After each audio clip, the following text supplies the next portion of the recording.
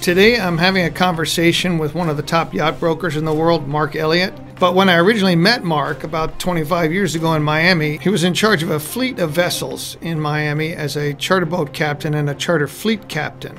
And he actually uh, had been commander of 14 vessels uh, for this same owner, which he's going to tell us about. And one of the vessels, as it turns out, was uh, renamed after they sold it. It became Nadine and it became uh, rather famous in a film called The Wolf of Wall Street. And Mark has uh, very relevant firsthand experience with that vessel, and I'm looking forward to talking about the special effects that were in the film and uh, about what really happened on that uh, fateful night uh, off of the coast of Italy. Um, Mark is in uh, here in Newport, but in another location, and we're going to connect with him now. Good afternoon, Mark. Good to see you we're both in Newport, but we're not in the same room because uh, we don't do that anymore. For now, anyway. Yeah, yeah, for the moment. But uh, there are a lot of boats up here and a lot of action. I know there's uh, been talking to some captains in the harbor, and there's plenty going on. And I know you're a busy guy, and at the airport uh, next door to me, you're buzzing in and out on different craft. What have you got over there? Well, that's my little playground, and I've got a helicopter, a Bell Jet Ranger, a seaplane, uh, an amphibian, and uh, a twin Cessna sitting there now. Oh my God, that's probably half the planes at that airport. I've been at that airport longer than anybody, and I love that little airport. It's just a sweet spot, and it's the only way I could have an office out in Nantucket. Um, to be able to fly back and forth to Nantucket is a, a, a game changer as far as if you had to drive out there or get there any other way, it's an all day affair but flying out there is 30 minutes. To back up, I was, um, I think I met you about more than 20 years ago on the uh, docks in Miami at the Jockey Club when you were running quite an impressive fleet of boats for Bernie Little. Um, but before we get to that, how did you become a captain so young with all these boats? Because I, I just seeing that you 18 years old running a boat up to Alaska from Miami, it's kind of unusual. Yeah, I grew up in Miami. Um, I started sailing boats when I was six years old on a little lake that we lived on in South Miami. And so at a very early age, I was sailing a sunfish. Then we had a little boat called a middy. And my father was into fishing and he had ski boats. So we grew up on the water. And I always kind of knew I wanted to do something on the water. So all through high school, I was doing deliveries and racing sailing boats and then I finally got a few deliveries as captain, bringing boats over to Bimini. And uh, well, I was very young. And then I got really lucky. I had put an ad up on a bulletin board over at one of the yacht clubs, Coral Gables and uh, Coconut Grove Yacht Club. And this guy called me and said, How'd you like to bring my boat to Alaska? And I said, Sure. I didn't even know how to get there. I said yes, and two of my high school friends. We started out, and the oh. first leg of the trip was when we were, you know, basically 16, and we went over to the Bahamas.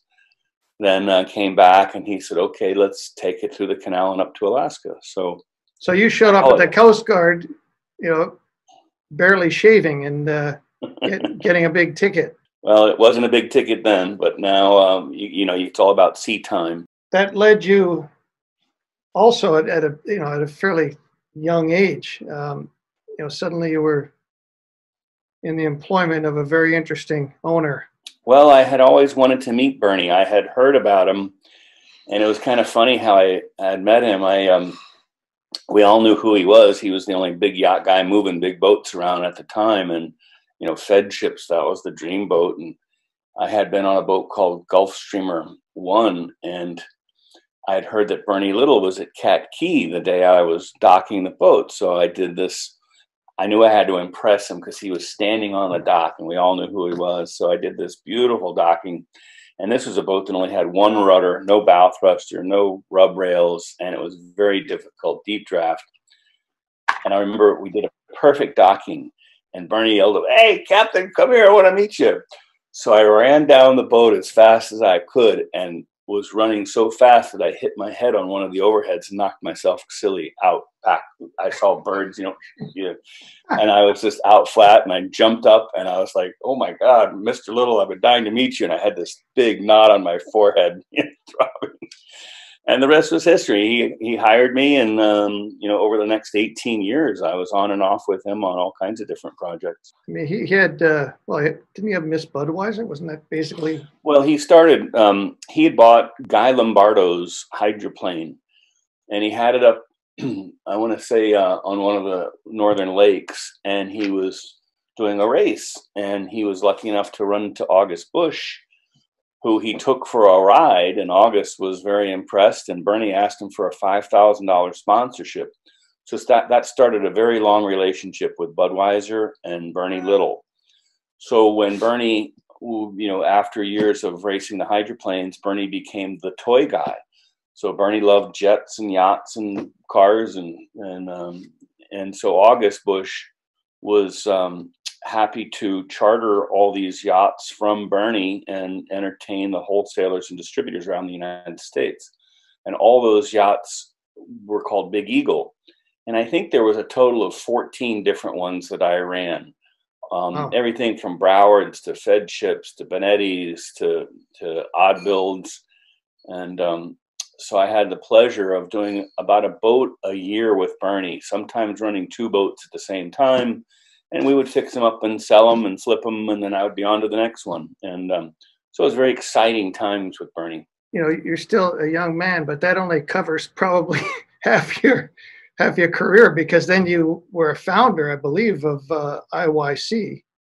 I wasn't uh, the founder, but I started with the um, idea. One of the last yachts that I was captain of before I retired my captain's uh, wings was a boat called Starship, and it was half owned by uh, yes. Wayne and Huizenga and Bernie Little.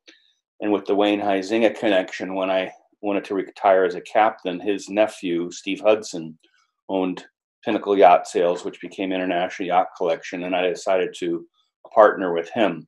So I opened up an office in Newport, Rhode Island, and one in St. Martin. Looking around on the website there of IYC, which I hadn't been on for a while, and uh, they have uh, they have these articles about you winning these awards for selling boats, and you, I mean, you, my God, I, I don't know how you sell that many boats in a year, but you've been uh, you've had some really good years. And I've been lucky.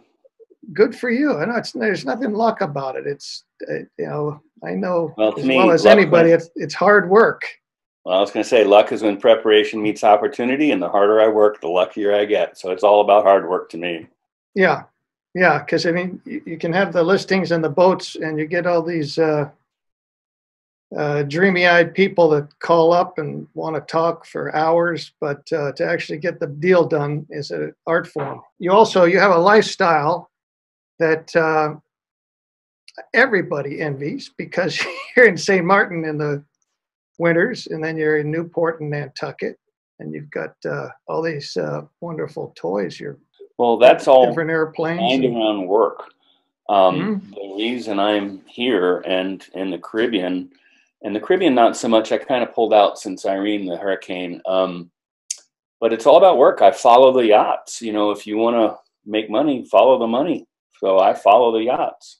Yeah, it's brilliant. I remember when you set up in St. Martin, it seemed you had a, a like a tiki hut and a barbecue somewhere down in that main marina, and uh, it was brilliant because there, I, you know, as far as I know, there were no other serious brokers down there at all. So no, and I had experienced that area as a captain, and I knew mm-hmm. the congregation of the yachts in St. Martin was huge. You know, and especially boats that never came to the United States. They would come from Europe and the Med and come to the Caribbean for their winter season.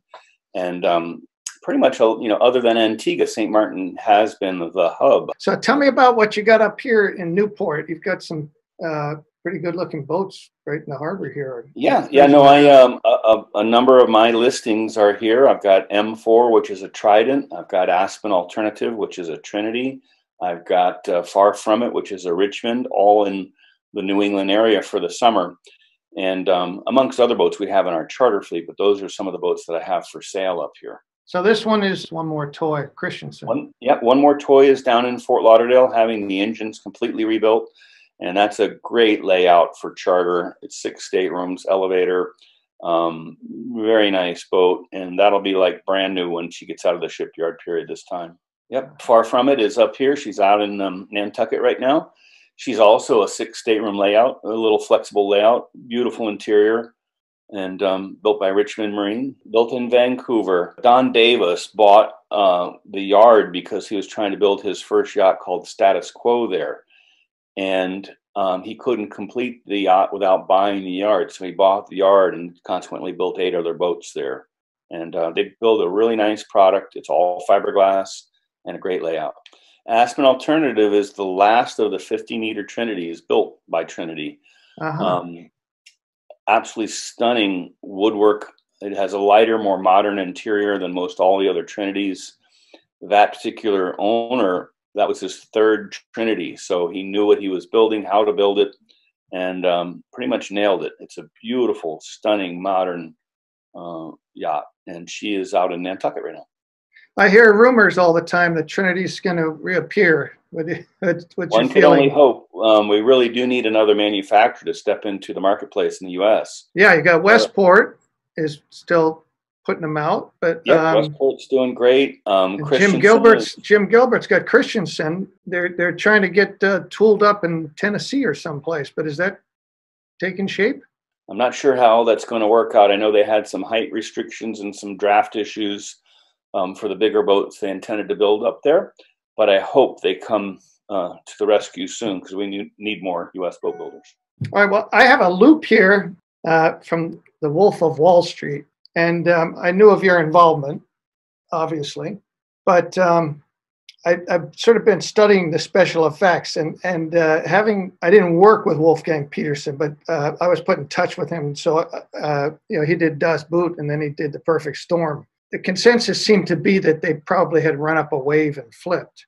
Nobody will ever know. But the- my own experience on the old Nadine, um, which was a big eagle, uh, and um, Jordan was our charter client on Big Eagle, and he ended up buying the boat. Um, but the rogue wave that really, you know, did a lot of the damage in the first round, from the bottom of the trough to the top of the wave, had to be 60 feet on that first bad rogue wave. And then we had multiple rogue waves after that, where I actually had to use the engine power to drive up the face of the wave so we didn't slide back or or broach. And then at the top, as you peak up and over the top, you have to pull it back and don't go too fast uh, as she lets down on the backside of the wave. So I can see how definitely conceivable. I mean, we were very, very fortunate to uh, survive those kind of waves. So here, what I did, I just cut out, I cut out the uh, acting part and just did their, um, just did their special effects were you involved in advising them technically? Was this a, a no. model in a tank or what was this? there you are. I'm pretty much a straightforward guy. And the movie, there was a lot of um, sensationalism and some embellishment of the truth um, to make a good story. Yeah. I always say, why let the truth get in the way of a good story? So, yeah, there was tremendous waves and you know, similar to what you're seeing in the movie, but in actuality, the, the first rogue wave broke our doghouse on the bow. And that yes. sliding wooden doghouse splintered inward due to the waves and the pressure. When that happened, the bow of the boat filled up with water. And that had a very long bow. So there's about 60 feet of the front of the boat that was basically crew quarters that was flooded. So we had mm-hmm. to dog down the crew quarters hatch and seal that off but that had lowered the bow just enough or, or, enough so now we had green water waves coming over the bow and hit the dining room window and what sank nadine was the dining room windows that got broken we had one of the bow dinghies break off and actually come in and break the dining room windows now we had green water coming in through the dining room windows and swirling down the staircases into the staterooms so the boat literally sank from the top down not you know, from the bottom up, like most people would think of a sink. Okay. So the so it was the main deck windows, not not the uh, the bridge. Correct. The bridge glass didn't cave correct. in. And um, we never lost steering. We had perfect engines and engine power throughout, so I could steer the mm-hmm. boat up and over the waves. Um, so, but the staterooms all got flooded, and that's where the danger, uh, dangerous situation came from they made an exciting scene with their uh, graphics there, however they did it. I, I, yeah. I'm, I'm looking at it. I'm not sure how much is uh, modeling and how much is uh, CGI, but uh, exciting so, stuff. Uh, let's talk about um, yachting in the age of COVID uh, right now with the charter business. And I, I, know there are a lot of boats out, and I hear that in the harbor, some boats have got eight weeks of charter. They're, they're doing a full season here. Yeah, we had um, an enormous amount of cancellations early on. We pretty much canceled all of our European charters. And then what we saw is people wanted to go anywhere they could out of the COVID danger. So the Bahamas was one of the first areas. Actually, the Florida Keys was the first area. We saw a huge influx of boats down to Key West and all through the Keys. The ones that were legal to charter in the U.S. were taking on charters because people, after they were pent up at their house and their kids, they all wanted to get out and breathe. And so we've got clients that had never chartered before chartering because they they see it's a very safe way to bring their family out on a great adventure and not be with a huge crowd of people. And the yacht crews are very, very conscious. Um, it's their home, so when you come into their home, they're sanitizing everything, they're testing everyone. Um, mm-hmm. And we did have a number of yachts that were down in the Caribbean that would have normally gone back to Europe that came up to the US to hunker down for COVID. And those boats are now up here in New England, and that's what you're seeing in Newport are mega giga yachts that have never yeah, been here before. Yeah, much much larger yachts than we're used to. We usually yeah. get a few, but um, there's a very impressive fleet here. And are they? Um, I, have heard they're over in Mackerel Cove and they uh, Sag Harbor. They're they're going to places that maybe are a little less populated and spending the day doing water sports and not uh, probably not doing as much uh, shopping and that's exactly right. where normally you'd have people going out to dinner from the yachts they're all eating on board it's the safest place for them um, we've got a lot of yachts up in maine right now getting away from it all mm-hmm. um, and yeah the, there's yachts in mackerel cove that we've never seen before you know sag harbor and nantucket have always been popular um, and the vineyard um, but I think you just got boats and people who who want to stay safe. They want to stay close to home. They don't want to travel internationally. So mm-hmm. New England is the spot this summer. What's the prognosis for this winter? Um, I talked to one port agent. It sounds like they're scrambling to find ways to, that yachts can visit different islands in different parts of the Caribbean. Yeah, I, I think the Caribbean will be open. Um, certainly yachts pose a minimal threat to spreading COVID just because everybody is staying on board and how careful they are. So, if I was a government official, I would certainly welcome the private yachts as opposed to, um, you know, the masses of people. Yeah. Because it still brings a tremendous amount of revenue to whatever area the yachts cruise in, whether you're selling flowers, groceries, or supplies, yachts bring a lot of revenue. So I, I think they'll find ways for the private yachts to be in the Caribbean. Um, I'm more concerned with the Fort Lauderdale Boat Show, to tell you the truth. So they're they're trying hard to uh, keep those doors open, I suppose. I believe so, but my personal feeling it's going to be very difficult with what's going on in Florida to have a successful boat show with the COVID rate that's going on right now. Yeah, that's for sure. Yeah, that certainly uh, maybe do it as a private show or something. But um, it looks a little like a county fair, the uh, numbers of people they get. Well, we'll hope for the best. Well, thank you for chatting with us. Well, thank you, Paul. Appreciate it. And uh, we'll talk soon. That concludes today's podcast from the Yacht Channel. Uh, there will be links that you'll see below here to get in touch with Mark or to look at any of his boats. You can also hit on the subscribe button if you'd like to see more of these podcasts, and we look forward to seeing you next week.